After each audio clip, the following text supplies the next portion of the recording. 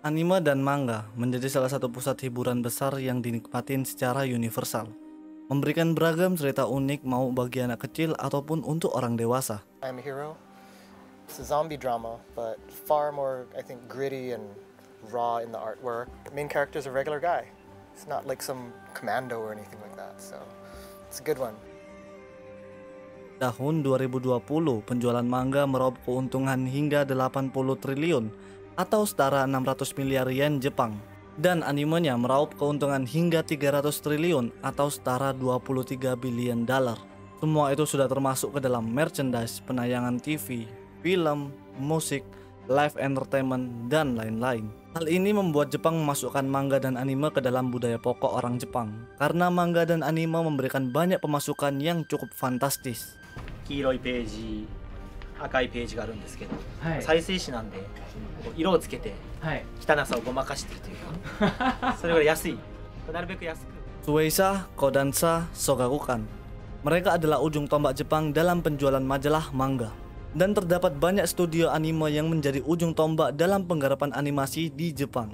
Di antara lain adalah seperti A1, Bone Studio, Kyoto Animation, Studio Ghibli, Toei Animation, Pierrot, dan masih banyak lagi. このカットに関して言えばもう表情をとにかく丁寧に仕上げていく崩れないようですね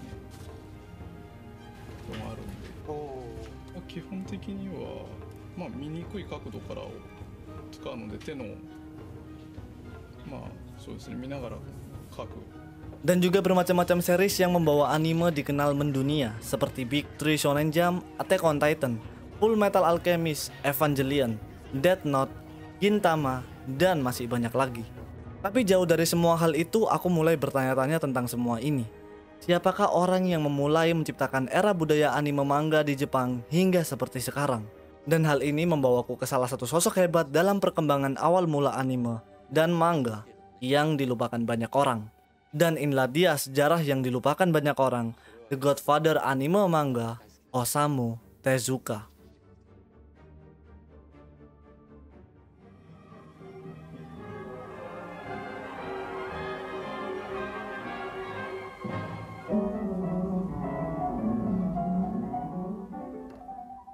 Osamu Tezuka lahir di Toyonaka, Osaka pada tanggal 3 November 1928. Anak dari seorang ayah bernama Yutaka Tezuka dan ibunya bernama Fumiko. Anak tertua dari tiga bersaudara dengan kedua adiknya bernama Hiro Tezuka dan Minako Uto. Dalam keluarganya, ayah Tezuka bekerja sebagai manajemen Sumitomo Metals dan kakeknya menjabat sebagai pengacara. Ditambah lagi dengan kakek buyutnya adalah seorang dokter dan ibunya Tezuka memiliki sejarah militer yang cukup panjang. Hal ini membuktikan jika keluarga Tezuka cukup makmur dalam kehidupannya dan memiliki pendidikan tinggi dalam jenjang akademis.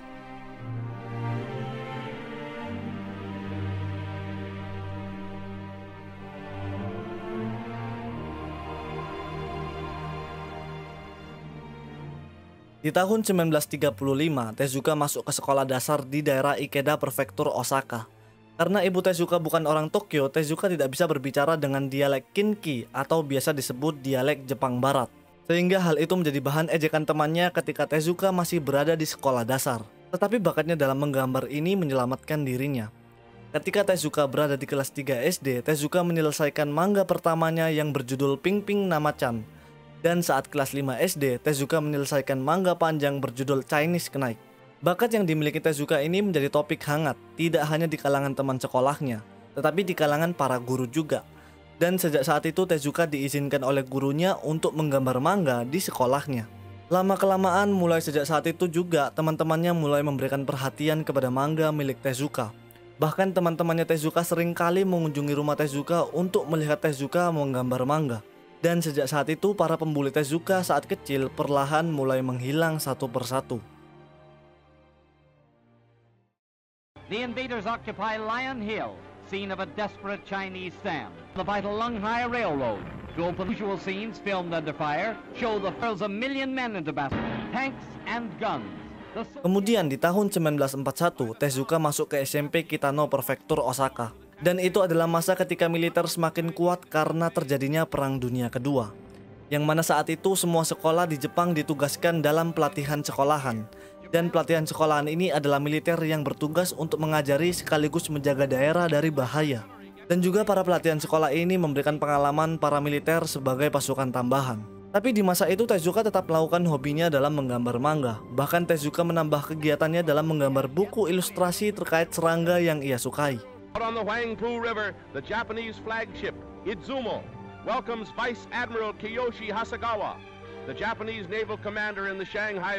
On. Kemudian pada bulan Maret 1945, Tezuka lulus dari SMP-nya. Tapi sayangnya Tezuka tidak lulus saat mendaftar sekolah SMA Naniwa.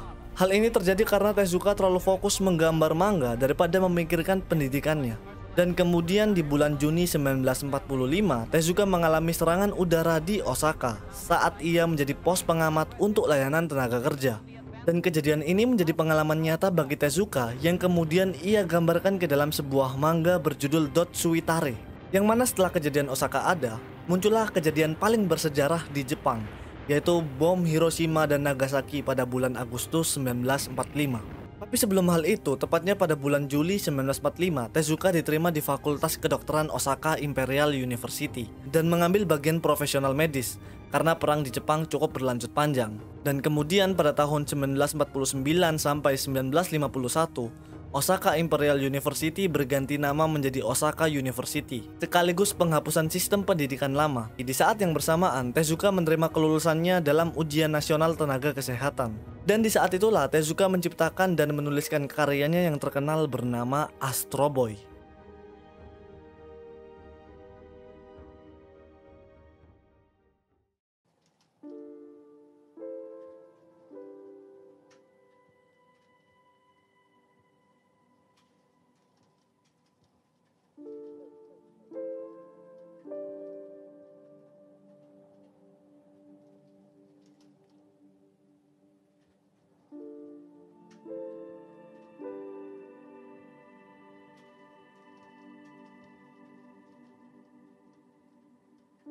Osamu Tezuka memiliki karir yang panjang selama kehidupannya. Jauh sebelum Tezuka menuliskan tentang Astro Boy, Tezuka memiliki kartun koran berjudul Diary of Machan.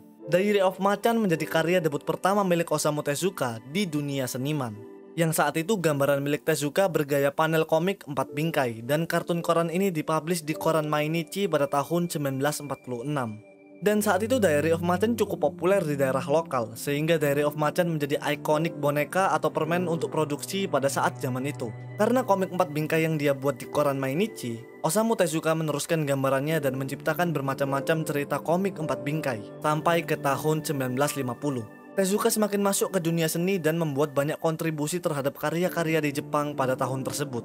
Osamu Tezuka mulai mendebutkan series lainnya, seperti Dr. Mars, Shin Takarajima, Lost World, dan lain-lain. Dan Osamu Tezuka tidak berhenti hanya di cerita anak-anak, tapi Osamu Tezuka terus menuliskan manga secara universal, hingga ke genre-genre cerita fiksi ilmiah sampai ke sebuah tema cerita petualangan. Karena popularitas dalam karya yang dia buat, Osamu Tezuka menghabiskan waktu lebih banyak lagi untuk menuliskan tentang manga. Dan Osamu Tezuka mulai menetapkan seluruh tenaga dan waktunya kepada manga.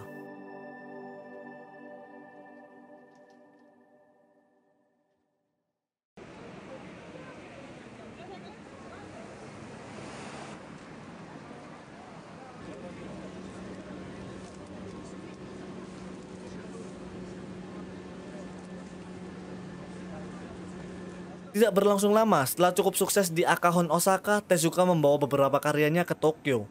Tetapi sayangnya dia ditolak oleh pihak Kodansha. Tapi saat itu Tezuka ini cukup beruntung karena dia diterima di perusahaan penerbit bernama Shinkaku. Dan di sana Tezuka mulai menuliskan beberapa one shot dan karya milik Tezuka ini dipublish di sebuah majalah baru bernama Shoujo Manga and Reading. Dan Tezuka mulai menciptakan banyak series lagi hingga dipublish di Manga Boy Gakudosa. Sampai akhirnya Tezuka memunculkan series yang paling terkenal yang berjudul Astro Boy. Dan Astro Boy ini dipublish di magazin Shonen Kobunsa pada tahun 1952. Dan sejak saat itu, Osamu Tezuka semakin terkenal di Jepang. Bahkan Osamu Tezuka meriliskan karya di tempat yang berbeda-beda dengan pengakuan dari pihak perilisan. それでここで食事なんか作ることもあるんですかありますよじゃあここは全く創作の空間っていうか密室なんですねもうあのなんていうんですかね もうパーソナルなスペースなんです Dan kemudian di tahun 1953, Osamu Tezuka berada di peringkat atas sebagai pelukis terkaya di Jepang. Semua penghasilan Osamu Tezuka tercatat dalam daftar pajak tinggi dengan beberapa deretan miliarder lainnya. Ini menjadi bukti jika Osamu Tezuka berada di tingkat pencapaian yang luar biasa sebagai seniman, atau tepatnya sebagai seniman manga. これはあの非常にありがたかった っていうんですかねつまり手塚治虫の漫画ってやっぱり意外性があるんですよで普通常識的に考えたら男であって女であって動物であってってありえないじゃないですかでもあ待てよ手塚治虫漫画だったらあったなそういうのってあリボンの騎士は男だし女だなとかね Tetapi di saat Tezuka berada di puncak karirnya, ia jatuh ke dalam insiden yang cukup terkenal dalam dunia majalah manga. Pada tahun 1958 menjadi langkah berat bagi Osamu Tezuka karena di tahun tersebut mulai muncul mangaka-mangaka hebat yang mulai menyainginya. Tentunya sebagai sesama seniman, Tezuka mulai memikirkan banyak langkah ke depan untuk menghadapi saingannya dalam industri manga. Maka dari itu, di tahun 1961, Osamu Tezuka mendirikan perusahaan produksi animasi. Tezuka memanfaatkan pengalamannya dan koneksinya setelah menjadi komisaris di Toei Animation. Dan pada Januari 1962, secara resmi didirikannya Mushi Production, perusahaan produksi animasi yang dibawa oleh nama Osamu Tezuka.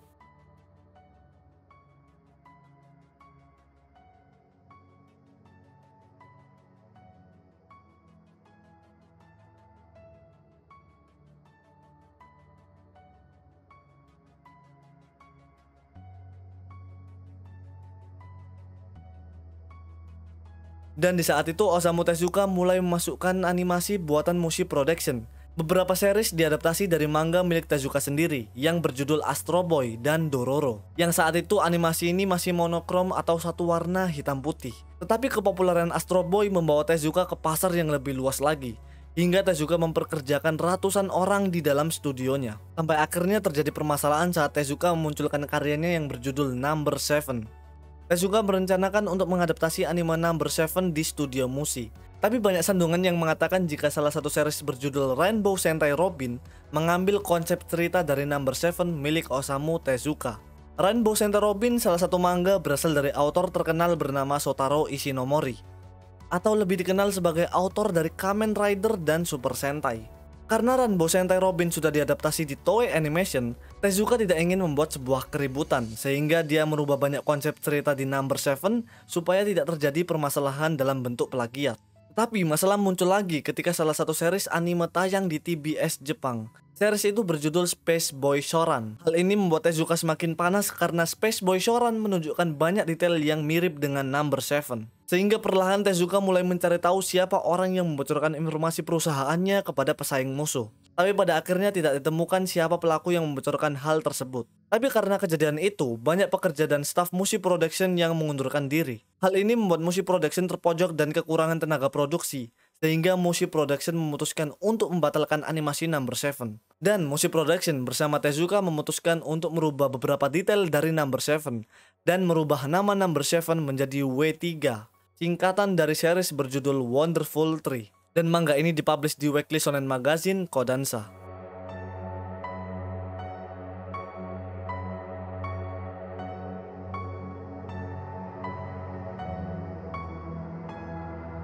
Ketika Wonderful Tree dipublish, Shonen Magazine Kodansha mengumumkan jika mereka akan mempublish dan mempromosikan manga dari Space Boy Shoran di Shonen Magazine. Tezuka yang mendengar hal itu langsung tidak terima, karena dia harus berbagi tempat dengan serial yang menghancurkan seriesnya.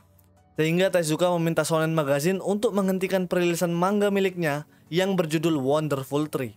Dan saat itu Shonen Magazine hanya mempublish 6 chapter dari Wonderful Tree. Dan setelah itu Kodansha putus koneksi dengan Tezuka sehingga Wonderful Tree tidak pernah dilanjutkan di Kodansha. Tapi sebulan kemudian, Tezuka memberikan Wonderful Tree untuk dipublish di Shonen Sunday Shogakukan.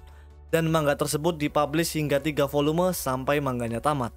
Kejadian itu menjadi pembicaraan yang cukup luas dan dibicarakan banyak orang, yang mana secara tidak langsung Shonen Magazine dijatuhkan oleh Tezuka.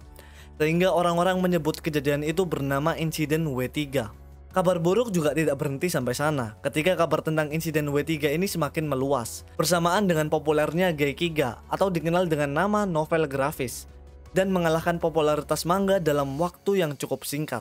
Bahkan novel grafis mulai masuk ke pasar perilisan manga dan perlahan mulai menggusur manga. Tezuka sedikit cemas karena manga mulai disingkirkan oleh novel grafis. Tapi Tezuka tidak menyerah. Dia mulai membaca puluhan novel grafis dan secara bertahap mulai memasukkan metodologi novel grafis ke dalam manga yang dia buat. Bahkan dengan tegas Tezuka menuliskan di autobiografinya yang bertuliskan saya artis manga. Novel grafis lebih digemari saat itu karena ceritanya yang ditujukan kepada kaum muda kelas pekerja. Dan cerita novel grafis diselaraskan dengan semangat gerakan mahasiswa saat itu, sehingga menciptakan ledakan sosial bagi pembacanya. 全教頭の活動が依然多くの一般学生の共感を得ているのかもしれません。大会は70年安保へぴったり照準を合わせた阻止闘争へ力の対決を表明。しかしそのための大同団結はどうなるのか。各派の主導権争いそして憎しみ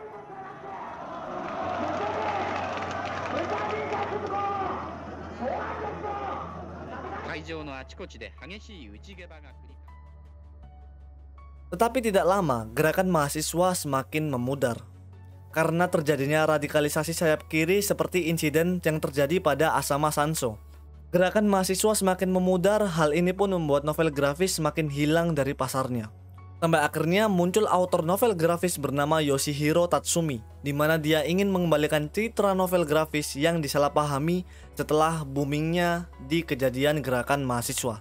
そういうあのあんまりあのジャンルが分かれてなくて、ほとんどがコマ漫画の延長のようなものですね、ギャグ漫画っていうかで劇画っていう名前をつけたんですけどもそうですねあの でも最初は我々の表現方法がちょっとあの普通の漫画と違うんで人を殺したり血が出し出たりっていうんで Tapi di saat yang bersamaan Tezuka berhasil mengembalikan manga kepada pasarnya, hubungan Kodansha dan Tezuka mulai semakin membaik.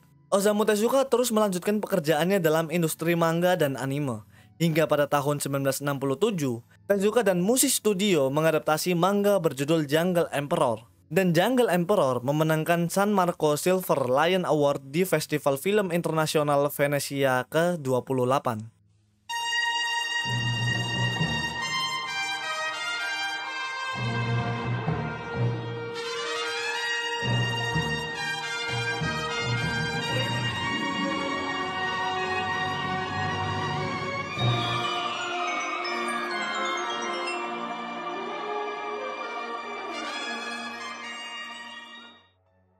Dan Osamu Tezuka terus menciptakan banyak manga dan berkontribusi dalam perkembangan anime hingga ke tahun 1980-an.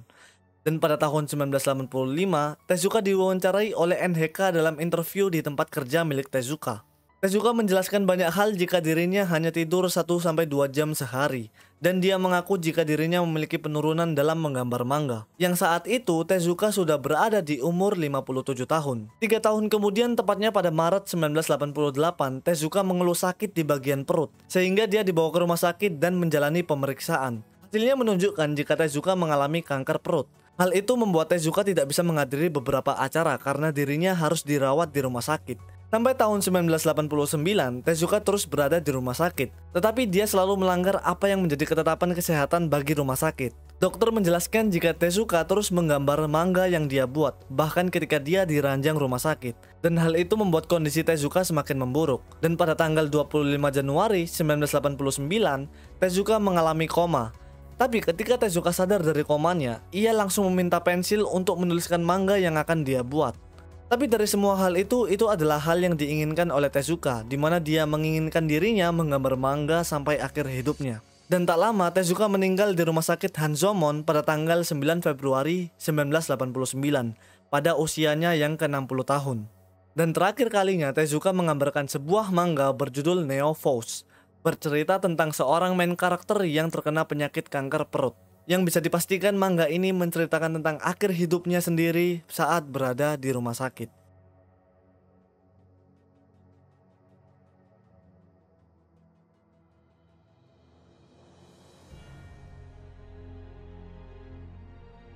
Kecintaannya terhadap industri manga dan anime dan seluruh kontribusi Osamu Tezuka dalam industri tersebut membuatnya dijuluki sebagai Father of Anime and Manga. Karya Tezuka kurang lebih terhitung sebanyak 700 volume dengan total 150.000 halaman.